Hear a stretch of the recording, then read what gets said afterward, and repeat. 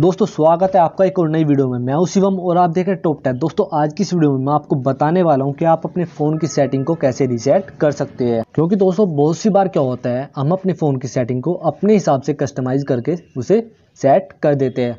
पर हमको नहीं पता होता कि हमने कौन कौन सी सेटिंग को रीसेट या अपने हिसाब से चेंज किया है। तो दोस्तों, आज की ट्रिक से आप एक ही क्लिक में अपने फ़ोन की सभी सेटिंग को रीसेट कर सकते हैं। दोस्तों, अगर आप हमारे चैनल पर नए हो तो पर चैनल को सब्सक्राइब कर लीजिए। तो चलिए दोस्तों, वीडियो को स्टार्ट करते हैं और बताते हैं आपको कि आप अपनी सभी सेटिंग को रीसेट कैसे कर सकते हैं। दोस्तों, मोबाइल की सेटिंग को रिसेट करने के लिए सबसे पहले आपको अपनी सेटिंग को ओपन करना है। जैसे आप ओपन कर लेंगे तो आपको सिंपल यहाँ पर स्क्रॉल डाउन करके सिस्टम वाला ऑप्शन सर्च कर लेना है। जैसे आप सिस्टम वाले ऑप्शन पर चले जाएँगे तो आपको इस वाले ऑप्शन पर क्लिक करना है। जैसे आप इस वाले ऑप्शन पर क्लिक करेंगे तो आपके सामने कुछ इस तरीके का इंटरफेस आएगा। तो यहीं पर आपको एक ऑप्शन दिखाई देने को मिलेगा, रिसेट ऑप्शंस का। तो आपको इस वाले ऑप्शन पर क्लिक करना है। जैसे आप इस वाले ऑप्शन पर क्लिक करेंगे तो आपके सामने बहुत सारे ऑप्शन शो हो जाएँगे।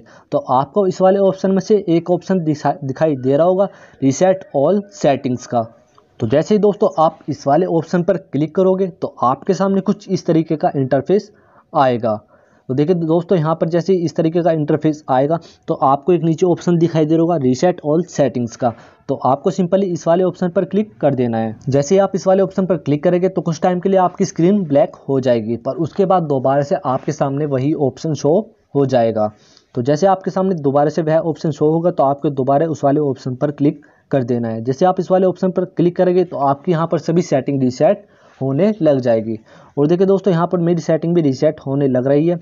तो सिंपली आप भी इस ट्रिक से अपनी सभी सेटिंग को रीसेट कर सकते हैं। तो दोस्तों, देखिए यहाँ पर मेरी सभी सेटिंग रीसेट हो चुकी है। दोस्तों, अगर आपको वीडियो पसंद आए तो लाइक कमेंट और शेयर ज़रूर करना। और ऐसी मज़ेदार वीडियो देखने के लिए हमारे चैनल को जल्द से जल्द सब्सक्राइब कर लीजिए। तो मिलता है दोस्तों नेक्स्ट वीडियो में ऐसे इंटरेस्टिंग टॉपिक के साथ। तब तक के लिए बाय बाय